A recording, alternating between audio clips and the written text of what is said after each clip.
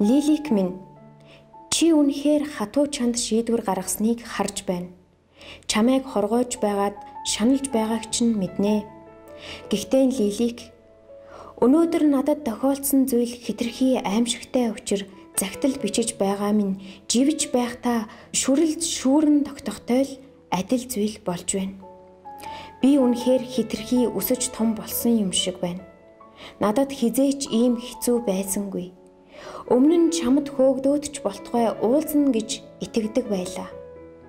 Гэтэл цаашид хизээч юу ч болохгүй мэт. Амьдрал намайг үнэхээр залхааж байна. Чамгүй бол амьдрал үгүй. Үүнийг би дандаа мэддэг, дандаа хилдэг байсан. Одоо бол бүх мэдрэхүйгээрээ би биеэрээ үүнийг ойлгож байна. Урд нь тааламжтайя боддог байсан бүхэн минь одоо ямар ч үн цэнгүй. Гэлээч бүх зүйл чамайг уучлаарай гэж гуйх, ингэж бичих тэнхэл надад алга. Хэрв чи энэ шийдвэрийг зовон байж, өөртөөгөө тэмцэлдэн байж гаргасан бол сүүлчийн удаа боломж олгох бол чи өөчилж хариу бичнэ.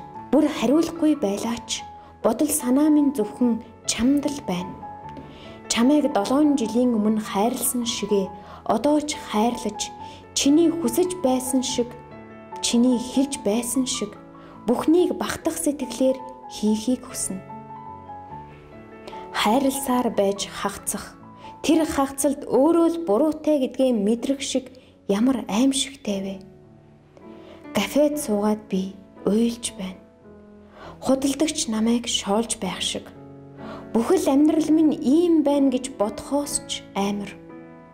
Чиний тухай бус өөрийнхөө л тухай бичиж байна. Чи амгалан тайван хорм хормоор надаас алслан төдөлгүй бүр мартчихна гэж бодно гэдэг үнэхээр аимшигтай. Энэ загтлаас өвдөлт зовиор үе гутам зүйлээс өөр ямар нэгийг олж харвал бурхныг будаж над руу бичээрэй. Даруй бичээрэй. Би гэртээ гүйж хүрээд хүлээх болно. Үгүй бол аимшигтай. Аимшигтай, уйтай.